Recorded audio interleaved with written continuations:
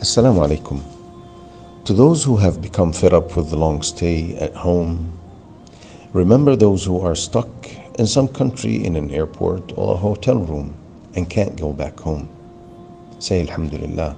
Remember those who were forced out of their homes, like our brothers and sisters in Syria.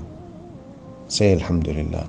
Remember the homeless around the world, and I'm not talking about those who lost their homes because of wars, but rather those who are always homeless due to poverty, and their home is either a sidewalk or a bench in a public park. Say Alhamdulillah. Remember those whose income is connected to their performance and are forced to stay home and thus have no money to provide for themselves and their loved ones.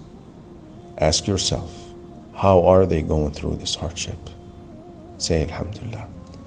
We need to be grateful that Allah Azza wa Jal made this hardship at this level and not worse. It wasn't an earthquake that demolished our homes, not a fire that burnt our farms and livestock, not a tornado that drowned us and uprooted our properties, and not a volcano that melted our bodies and the bodies of our loved ones before our own eyes.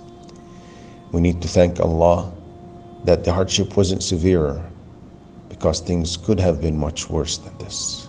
So repeatedly say Alhamdulillah.